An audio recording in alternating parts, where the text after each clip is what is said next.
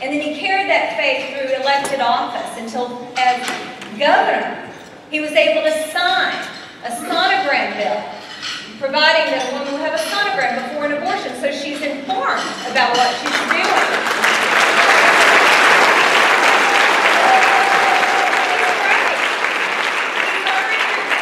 He's going to sign the 20-week ban the minute it lands on his desk, and we're so grateful.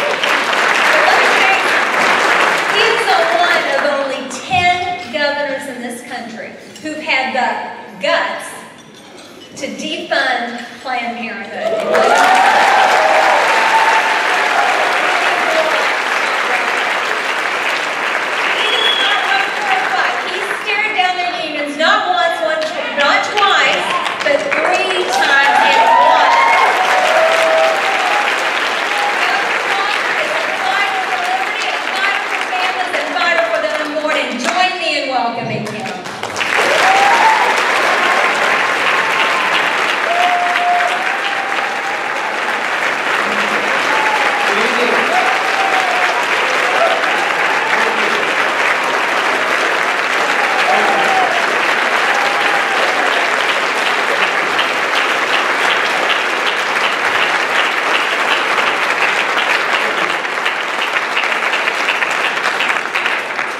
Any after an introduction like that, I should just say thanks, that's it, she said it all, it's perfect.